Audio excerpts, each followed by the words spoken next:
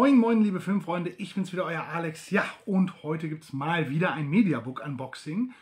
durch die ganzen Unboxings vom Angler ist mir aufgefallen, du willst ja eigentlich auch mal zwischendurch Unboxings machen. Ja, ich habe das jetzt lange Zeit auch ein bisschen versäumt. Ne? Vor allem, weil meine Konstruktion, mit der ich aufgenommen habe, ja suboptimal war. Jetzt habe ich andere Möglichkeiten und möchte natürlich auch gerne mal ausprobieren. Ja, und zwar geht es heute um das Mediabook hier von Spine of the Night. Und Spine of the Night, der hat mich sehr interessiert, weil das ist so ein klassischer Adult-Animationsfilm wie zum Beispiel damals Herr der Ringe, Heavy Metal, Heavy Metal Fuck 2 und diese ganzen Sachen in der Richtung.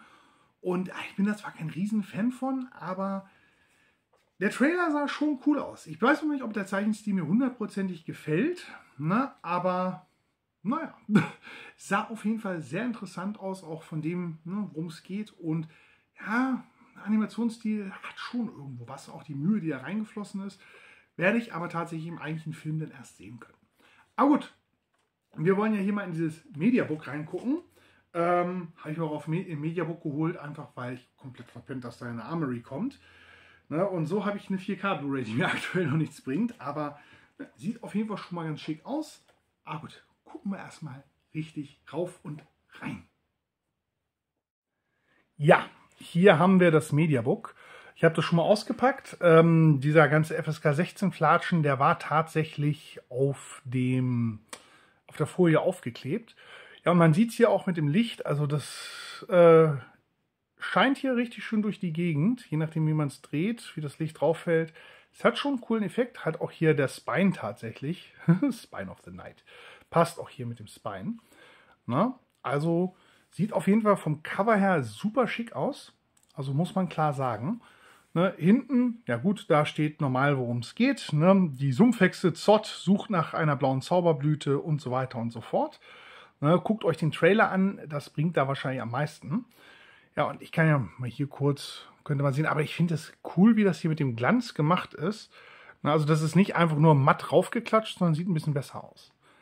Ja, gucken wir mal hier, was an Specials drauf ist. Ein Audiokommentar mit dem Drehbuchautor und dem Regisseur. Ein Kurzfilm, noch ein Kurzfilm, also zwei Kurzfilme noch dabei. Ein Making-of, ein Trailer und, oh, das finde ich schön, ein 40-seitiges Booklet von Rolf Giesen. Ich kenne jetzt Rolf Giesen nicht, aber alleine ein 40-seitiges Booklet. Das ist ja schon mal mehr als die 16 Seiten, die man sonst häufig hat. Das finde ich oft nämlich ein bisschen wenig. Und ja, gucken wir mal rein. Ne? Und ja, ich guck mal, hol mal hier die Disk raus, dass man mal das Beckenmotiv so ein bisschen sehen kann. Ja, das geht hier sauber ineinander über, das ist schön. Die Disk ne, sieht auch ganz cool aus. Ne? Sehr schön. Ne? da ist er. Hallo. so. Ja, aber das äh, Motiv sieht schon mal sehr cool aus. Dann gucken wir mal hier. Oh, das ist aber... ah, lässt sich hier noch nicht ganz so gut blättern. Ja, ich finde es äh, wirklich schön, dass wir hier mal wirklich wieder ein Booklet haben, dass man ein paar Seiten mehr hat und nicht immer nur diese obligatorischen 16 Seiten. Ne, klassische Heldengeschichten. Ne, Gilgamesch-Epos wird hier drauf verwiesen, äh, Ramanaya, Raman, Ramayana, Mahabharata, um Gottes Willen. Ne, also indische äh, Nationalebenen kenne ich mich jetzt nicht so mit aus. Und ja, hier geht es auch nochmal um Regisseur John Borman der wie Excalibur mit seinen, ja, von 1981 ja auch schon so einen Fantasy-Prototypen geschafft hat, oder geschaffen hat. Äh, daran orientiert sich der Film hier wahrscheinlich. Oh, ich finde das auch hier sehr schön, dass sie farblich immer sehr unterschiedlich ist, dass man ne, eine schöne Kombination von Bild und ne, dann durchaus auch ein bisschen Text hat. Na, ja, ne, geht es hier um Sword and Sorcery, offenkundig. Eine Heroic Fantasy amerikanischer Prägung ist eine moderne Weiterentwicklung, eine Motivation dieser Klassiker, aber diese klassischen pulpigen Sword and Sorcery Filme, die sind ja auch immer sehr cool. Ähm, ja, hier so ein paar Concept Arts, ne, das sieht auch ganz cool aus.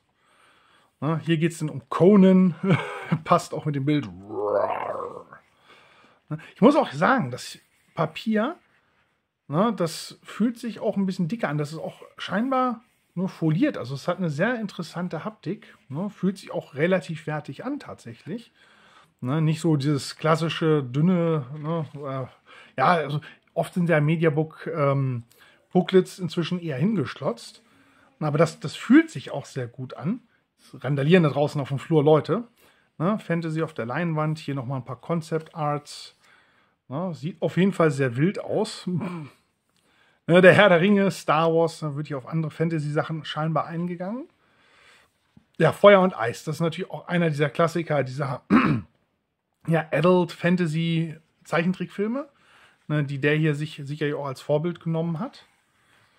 Man sieht auch hier, dass, wie das Papier hier teilweise glänzt. Also das ist, haben sie wirklich, ups, ein bisschen was Hochwertigeres genommen. Das finde ich wirklich cool. High Fantasy Feeling pur. Ich weiß nicht, ob das hier wirklich High Fantasy wird. Ne, oder eher ein bisschen Dark Fantasy oder Low Fantasy. Naja. Ne, aber wie gesagt, man sieht, ne, wird hier auf einige Sachen sehr viel eingegangen. Ne, Bilder, die Bebilderung im Hintergrund. Ich finde das auch, dass das wirklich immer sich so ein bisschen abwechselt. Sehr schön wirkt das auch nicht so langweilig. Die extreme grafische Gewalt, die Spine of the Night auszeichnet, ist jedoch niemals selbstzweckhaft. Ein, ein starkes Plädoyer gegen vergangene und künftige Kriege. Da bin ich ja mal gespannt. Klingt schon mal sehr hochtrabend. Hier nochmal ein paar Concept Arts. Ohne Zeittafel. Ha! Ne, geht hier los mit Tolkien. ne, Irvin Howard und so weiter und so fort, der Hobbit.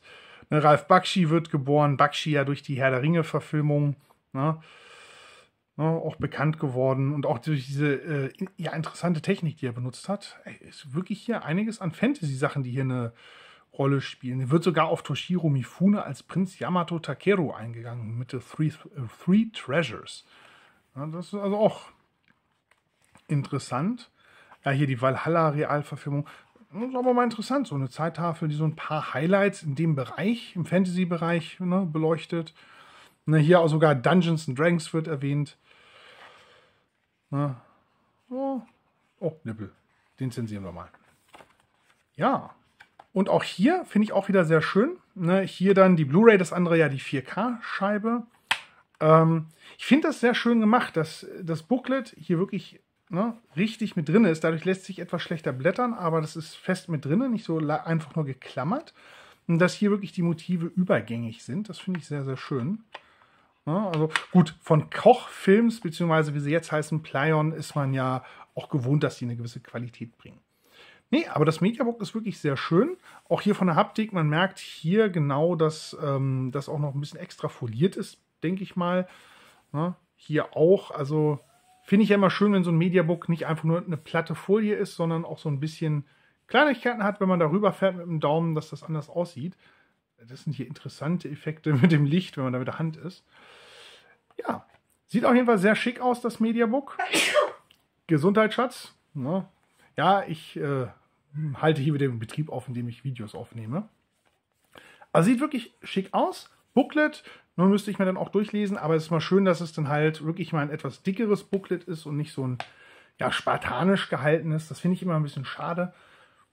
Ist auf jeden Fall ein schönes Mediabook. Man muss natürlich sagen, es ist halt von Koch. Es ist zwar dünner als normale Media, äh, so dick wie ein normales Mediabook. Nicht so dick wie die anderen Koch-Teile, die ja dann, ich sag mal, diese Dicke hier haben. Ich mache das mal so, zeig das, versuche das mal zu zeigen. So. Ne? Aber es ist natürlich von der Höhe her auch etwas kleiner als die klassischen Mediabooks. Ne, die sind dann ja ne, vielleicht noch mal so ein Stück höher. Ne, ich weiß, diese kleinen Mediabooks mag nicht jeder, aber ist auf jeden Fall eine schicke Edition. Jetzt hoffe ich, dass der Film tatsächlich äh, richtig klasse ist. Wenn nicht, na, muss man mal schauen, ob das dann in der Sammlung bleibt. Aber gut, ich wechsle mal wieder die Kamerasicht. Ja, da haben wir wieder den Typen. Also, ich habe ja eigentlich schon alles gesagt. Es ist wirklich ein schönes Mediabook. Ähm, wie gesagt, jetzt bin ich nur mal auf den Film gespannt. Ja, schon direkt drauf hier. Ganz einmal auf den Tisch legt. Nee, aber haut mir gerne mal in die Kommentare, wie ihr das Mediabook-Design findet. Ne? Also wie gesagt, die Haptik finde ich ganz gut. Ne? Paar kleine Spielereien drauf. Es ist halt, ne, wenn man da mit Licht arbeitet, dann hat das auch ein paar nette Effekte. Und wie gesagt, das Booklet, endlich mal wieder ein Booklet. Nicht nur 24 Seiten oder 16 Seiten, was ich ja mal ganz besonders spartanisch finde. Ähm, bin mal gespannt auf den Film. Ne? Und ja, muss ich mal gucken, ob ich denn mal wahrscheinlich eher bei Instagram ein kleines Review dazu mache, ähm, weil auf dem Kanal mit den Reviews, die geplant sind, das ist schon proppenvoll. Ne? Aber stimmt auf jeden Fall schon mal sehr positiv. Und ja, wie gesagt, man kennt es ja von Koch, ähm, bringen ja eigentlich auch Qualität raus. Beziehungsweise jetzt ja Plyon. Aber ja, ich versuche euch dann mal auf dem Laufenden zu halten. Wie gesagt, wahrscheinlich eher bei Instagram das Review, aber Könnt ihr auch gerne mit reingucken dann. Ja. Also, falls ihr den Film schon gesehen habt, haut mir in die Kommentare, wie ihr den Film fandet. Und ansonsten, wie immer, bleibt gesund und vielen Dank fürs Zuschauen. Bis zum nächsten Mal.